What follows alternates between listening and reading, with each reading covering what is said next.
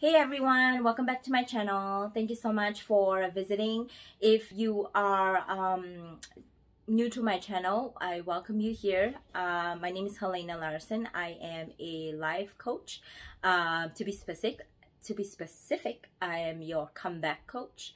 Um, and what that means is if you are, you know, um, in a slump and you are trying to get out of your rut and you are going through some life changes and you are feeling like you needed that extra oomph um, to move you forward, to push you forward to your next breakthrough, I am your coach. Um, I have been there. I have been through many different ruts, many different kind of ruts, and I um, definitely have the experience and uh, my fair share of stories to share and to help impact you in your life. And uh, today is um, no different. Today we're going to talk about spring cleaning your life. We are in spring now.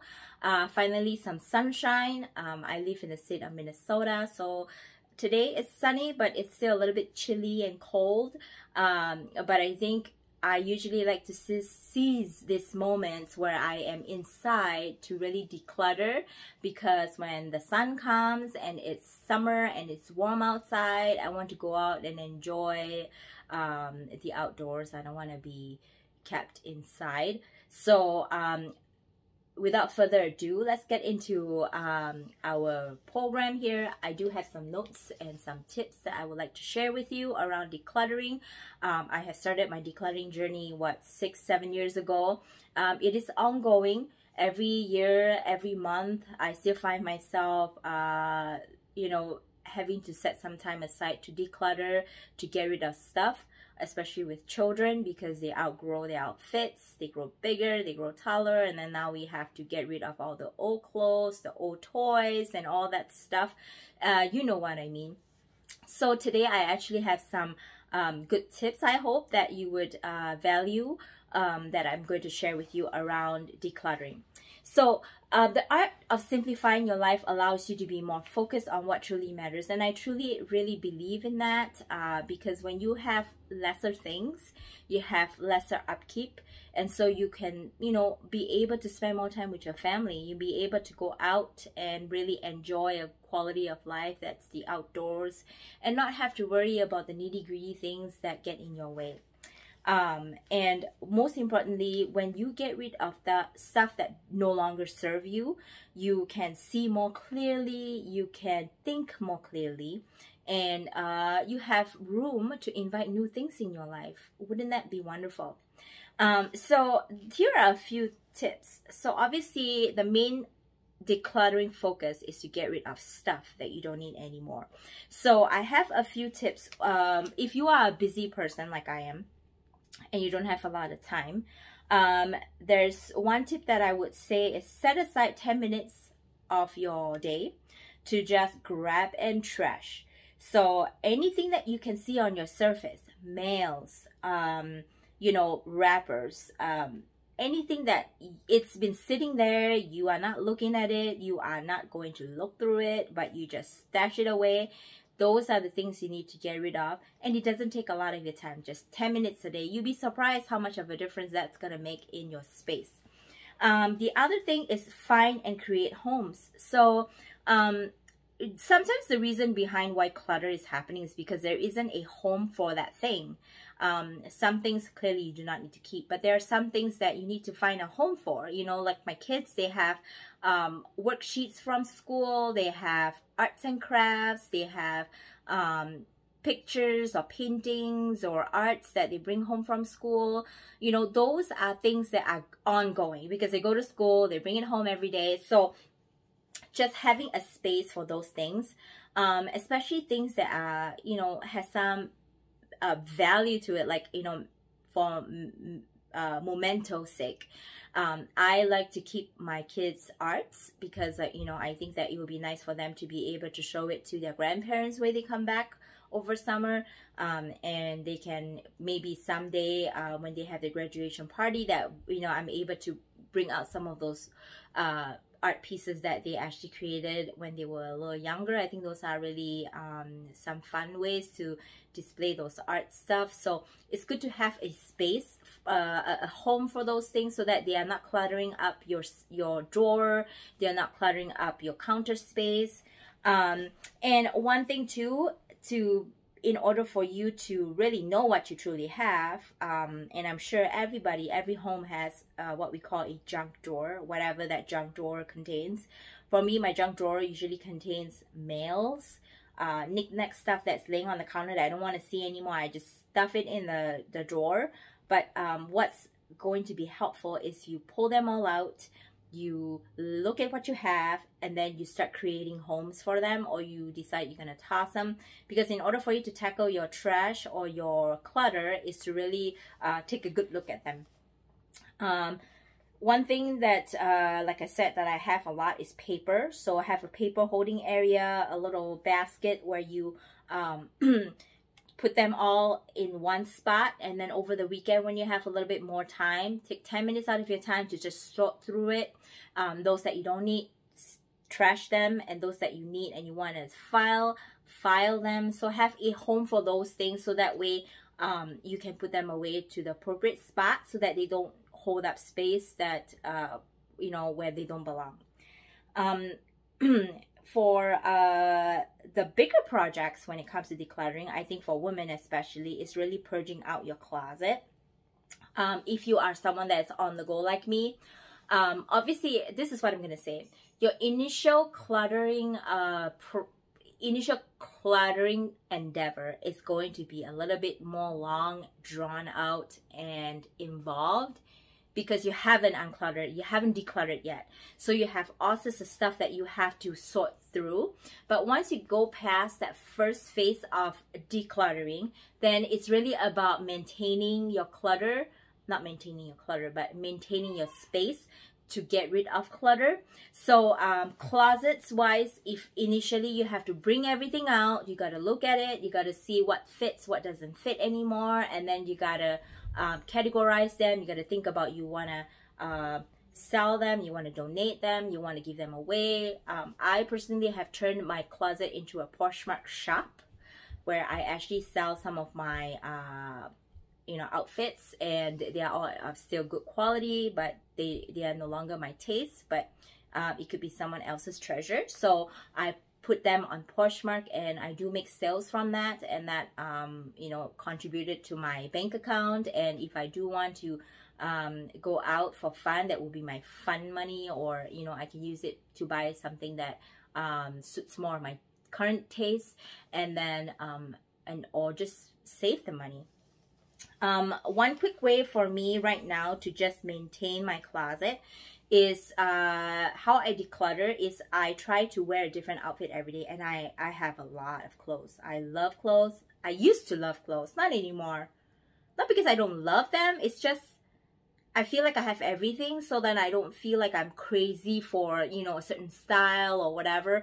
Although I feel like my taste has evolved and it's it's gotten to be more of a comfort, um, simple, minimalistic kind of a uh, uh, uh, outfits that I'm going for versus the more floral taste that I used to have.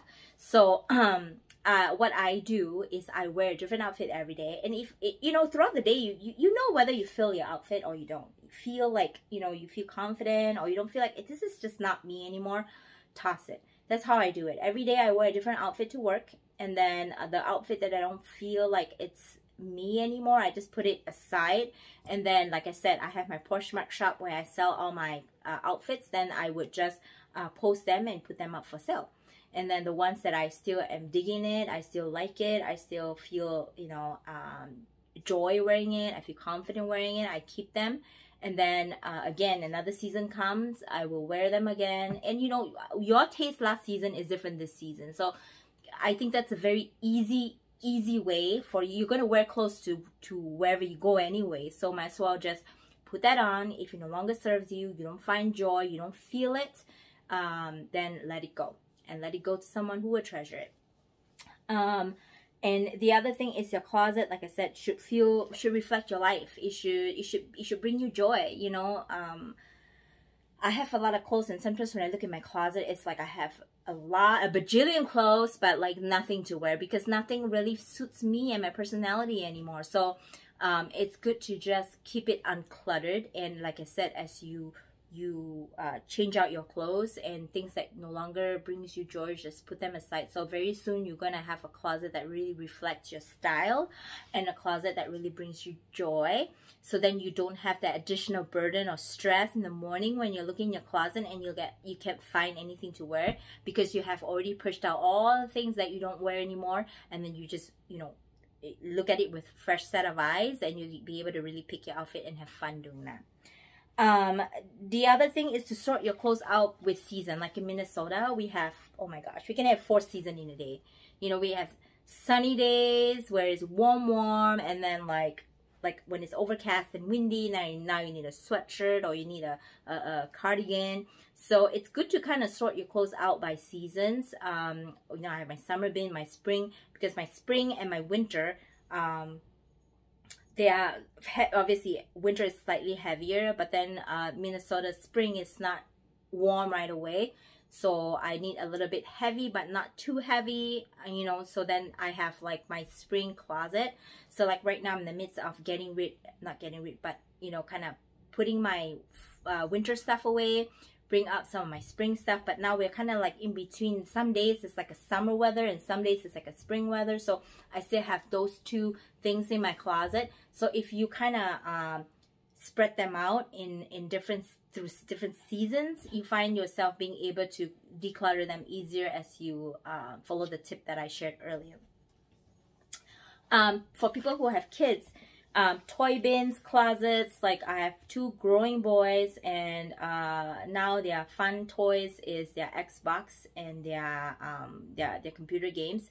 So they don't really play like toy toys anymore. Once in a while, my son will go and play with his Legos, but like um, those toy trucks, those toy uh, figurines. Like we just got rid of some of his Ninja Turtle toys because you know don't play with it anymore. So it's good to kind of sort them through and see. Some sometimes they just have broken toys. Like I don't even know why we keep them, but we do. So just get rid of the broken toys, and then for the ones that are still intact and good, but the boys no longer or your kids no longer play with them, donate them if you want to. There are some places that actually uh, are open to accepting donations for um, children who have less. So those are good organizations to donate to. Um, organize a garage. Oh my gosh, the garage is like my dumping ground because like I just we just had Christmas. I know it's already April, but I still have Christmas bins in in the garage, waiting for my husband to put in the attic. So um, it's good to kind of once in a while declutter your garage, kind of organize things according to their section, their groups, and then um, that way you don't find yourself too overwhelmed when you go into garage because that's usually where we dump our stuff. Um, one thing I want to share is around like the emotions when you are going through the decluttering process. Um, it sounds like fun. It sounds like, you know, you're taking back your life and taking back your house by organizing it. But before you do that, it is going to be a lot of emotions involved um, I just shared with my pod in my podcast. If you haven't uh, listened to my podcast, Morning Reflections, I encourage you to, um, you know, take a listen. So um, I shared earlier in my podcast around the emotions I felt when I did declutter the first time. I haul all of my clothes. I have three closets full of clothes, and I pull them all out. And I, I'm kidding. I'm not kidding you. It is a pile, a mountain of clothes, and um, I felt emotionally overwhelmed. I was so emotionally overwhelmed. I was so ashamed of myself. Some of the clothes that I got out of my closet were still had tags on them, and um, it just really made me feel bad about myself. Like, why do I spend my money on things that I'm not even wearing? And this money could have been put to better use. And um, so, really going over uh, clutters sometimes bring out some emotions in you and that is completely natural. It is going to get easier i promise. Um, so i had to go through that phase too just feeling ashamed feeling lousy feeling bad you know. Um, feeling sad that's the other thing feeling sad when you have to let go of stuff. Um, when you're doing this the first time, this is very normal. You are going to go through a roller coaster of emotions because then once you get past the shame, the the the the sad, the overwhelm, the the disgust, then you're gonna deal with the complete overwhelm of oh my gosh, now I have a mountain of clothes to deal with. Um, it is going to take time, my dears. It's going to take time. You're going to have to spend some dedicated time to to to separate them you're going to it's going to take time for you to decide what you're going to do with them it's going to take time for you to bring even like it took me two weeks uh because i took the week two weeks ago off to just declutter my house and i had like a truck full of stuff to donate and it took time uh, from my day to actually drive these things to goodwill to donate and um, it is going to take time so don't be so hard on yourself um, digest your feelings. Um, sometimes having clutter is a symptom of something that's empty inside. I also shared in my podcast about how um, I used to love acquiring things. I love to buy things to fill the void in my life, but nothing uh, ever really lasts because the next high or the next stress comes and I go out and go get my next high through buying things. But um, I end up with an empty heart and uh, a closet full of things that brings me no joy. So really thinking about why why do you have all these things? When do you go get these things? Is it when you're sad? Is it when you're mad? Could there could there be a different um, a, different and a better habit that could help you? Um, uh, what do you call it? Uh, use your emotions a little bit uh, in a better way like understand your emotions and have healthy ha- healthier habits than going to buy things uh, for me i find that i uh, was actually able to look within and just uh, through that process find purpose in um, helping others who are going through the same and am able to find a more fulfilling purposeful way of handling my emotions instead of going out there and buying things. Because buying things is the easiest um, fix that's what i would say. You know it's like putting a band-aid on a wound but um, the wound and the scar is still going to be there. So really having to deal with uh, what that wound is and finding healthier ways to deal with it and it really brings you more fulfillment for more more long lasting joy um, last but not least i have other tips that I can uh, share with you, some quick ones. Um, tips for decluttering. So, um, what do you call it?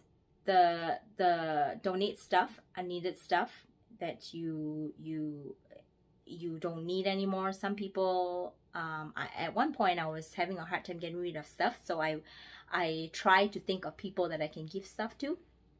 But end of the day, it's not worth it. It's not worth it.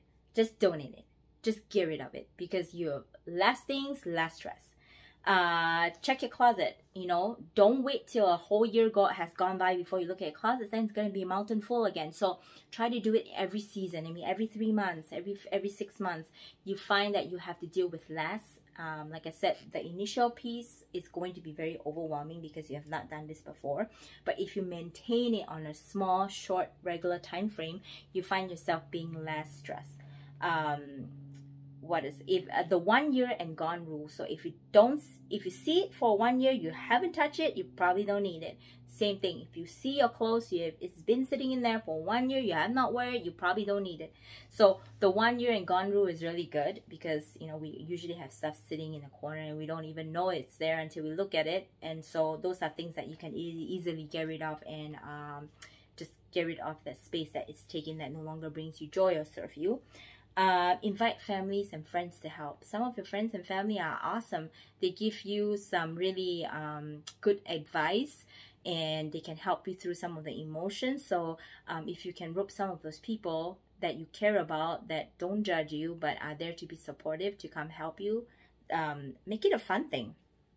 Um, take one room at, at a time. So I personally started with my closet and then I slowly um, go into my um, kitchen cabinets because there's like plates and you know I have those baby plates, baby baby spoons. Like I don't need them anymore. My boys are 9 and 12. Like they, they don't need those baby plates anymore. Just get rid of it. But like anything in order for you to do that, you need to make time to take time and um and and and one step at a time and then you do your junk drawer and then you do your bathroom cabinets because I my bathroom cabinets, my God, has a lot of crap in it that I don't even, you know, use and I don't even know why it's there. Old makeup. Um, I have like old like uh soaps you know um not soaps what is those things called like cleaning solutions that i don't even use or half used and you know so those are things that really take up a lot of space and it doesn't you don't have to do the whole entire house in one day don't overwhelm yourself one thing at a time. This weekend you do your closet. Next weekend you do the room. The next weekend you do the the kitchen cabinets. And then before you know it a month has gone and you have really cleaned your house out. So take time and and one room at a time. And sometimes one room does take longer. Maybe you know like it might take a couple weeks might take a month. It's okay. Um, go at your own pace. Nobody's judging. Uh, and remember it does get harder before it gets easier but before you know it um, it's going to be you're going to have your house back. You're going to get a clean house and with clean house you're going to feel so much better. You're going to feel fresher you're gonna feel lighter it puts you in a good mood it it makes everything so much better. Um and and and not just on the surface you know not just on the countertops not just um this appearancely it look nice but you really go deep like you go into your cabinet where people cannot see. That is real progress. Um start small. Don't don't be overwhelmed. If you i personally go all out. I went in i went all out. You don't have to do that. You can just you know start small. Like i said 10 minutes or just do like the outfit thing. Wear one outfit. If it doesn't serve you put them away. And then before you know it, wear all your outfit and you've you you have um a whole closet that you actually truly love and not like 50% of those clothing in the closet you don't even um, use them anymore. Create a plan, you know, have a timeline. You know, I think as human beings, we progress is a great thing. It doesn't have to be perfection. Just little progress makes you feel like you are making movements and i think that's all that matters so if today all you could do is to declutter your your your your kitchen cabinet hey you clean out your kitchen cabinet. Who cares if the garage is still a mess or your wardrobe is still full of clothes? It, it, it doesn't matter. Celebrate the success and the time you took and before you know it all the house will be clean. Um, and and uh, one thing that is most important is focus on yourself. Listen to yourself. You know listen. If you if you're not ready to get rid of something don't. Nobody say you have to. You know when you're ready to get rid of something you will um, when I started my decluttering process, I, I did go all out, but there was also a lot of things that I, I was hesitant to get rid of uh, but then over time, I, I, I was willing to because it no longer serves me and I was ready to part with those things. And, and so don't feel like you have to declutter everything and just get rid of everything and then, and then you, you, you didn't stop to think about it and then later you regret, you know what I mean? Because some things, once you let go, you can't have it back.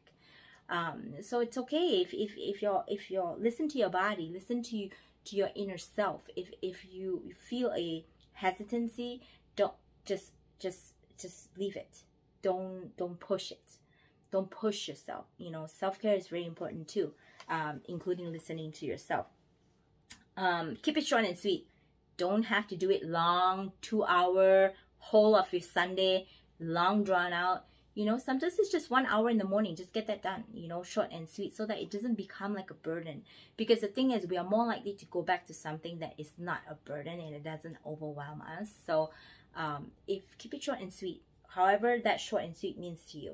And if today you feel like you got the stamina to go for all day go go for all day. But it doesn't have to be all day all day long all month long all year long. You know what i mean? Um, again listen to yourself listen to what yourself is telling you. If it's starting to get frustrating, it's trying to get you start to get resentful about the process, then you need to stop. You need to stop because you you you you have reached your max.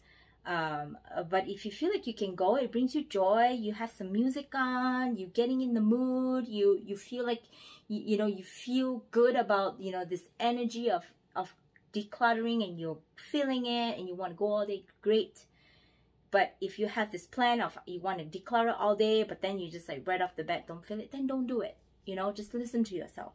Um, create a calm place where you feel like you can zen out so maybe just just where is the place that you hang out most your living room most probably where the tv is on and you need to you want that time to like um decompress then focus on that space because that's the space that you're going to look at all the time anyway so spend that time maybe that that one space is your calm space and that you always come back to and that's good. And then slowly work work around the other areas of your house.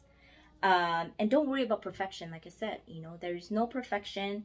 Uh, it's your house nobody else's house nobody can tell you how it looks. So don't demand perfection. There's no perfection in this world. There's no perfection out there and there's no not going to be perfection. And when you think you have achieved perfection you, your new definition of perfection is going to come. So don't um, don't don't seek what's impossible because then you, you find yourself unfulfilled and unhappy. Um what else?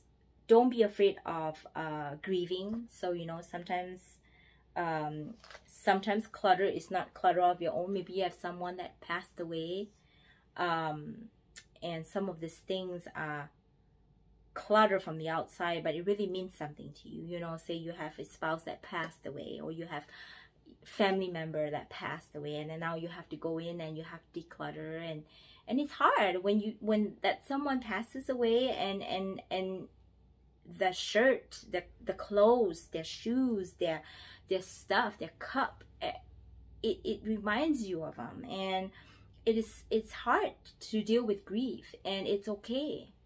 If it's too much just don't do it. But um, allow yourself the space to do it um, but listen to yourself. And and and it's okay to grieve. It's okay to be sad. It's okay to to to cry when you are going through something like that. And um, not all clutter is fun. Not all clutter is um, stuff that is of your own. Sometimes it's clutter that you have to deal with because um, because it's family and that happens. But be gentle with yourself. And if you if you're not feeling it and it's it's really affecting your mental health then then then stop um, and that's where I think that it's good to have friends and family for support especially in that kind of situation where you're like now you're going in and you are trying to um, you know clear out some of the stuff that you know it's time but you just don't know if you can emotionally handle it. Like that's the time when you need that support. So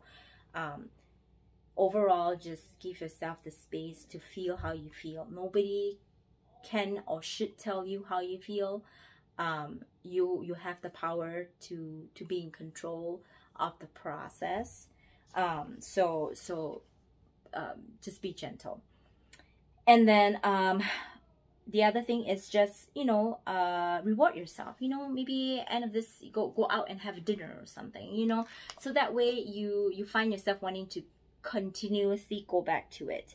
Um and and and make it fun make it nice. Like i said you know add some music uh you know add some um, nice scent. I have those plugins that i buy from um uh from the scent store. What is that called? Not bed bath and beyond or i don't know. I can't even remember that name, but um, sometimes the fragrance just kind of puts you in the mood and, and makes you happy. But most important thing is remember that this is a positive process. Uh, it is it, it is for you to grow. It is for you to move forward. It's for you to uh, fill your life with better things and to get rid of things that no longer serve you and uh, if you have that perspective and that mindset you you will be able to stick it out to the end but most importantly um, throughout the process be gentle with yourself um, you are in control and you have the power to do this you did not it did not take you one day to get to all the clutter that you're seeing it took you years and so it's going to take you know months maybe years to completely declutter your house. But remember, it's a process. It's not a one and done deal. And so um, be gentle with yourself and, and, and constantly go back to it to maintain um, this calm lifestyle that um, that you are now, not that you are now as a person because um, your space is going to reflect who you are. And as you grow your space is going to reflect who you are too. So um, that is just a, a, a process of um, your own personal evolution. So i commend you for starting and i encourage you to hang in there a little longer. And um, i give you permission to take the time with yourself and to forgive yourself and to um, allow yourself to experience whatever you're experiencing. Because I know that um, you will come out the other side a better person um, with more mental clarity, uh, more space for bigger and better things for you. And um, I, I, I wish you love and I hope to see you again. And thank you so much for visiting my channel. And uh, I hope this has helped you. Uh, put down your comments below. If you like my channel, please subscribe and I'll talk to you soon.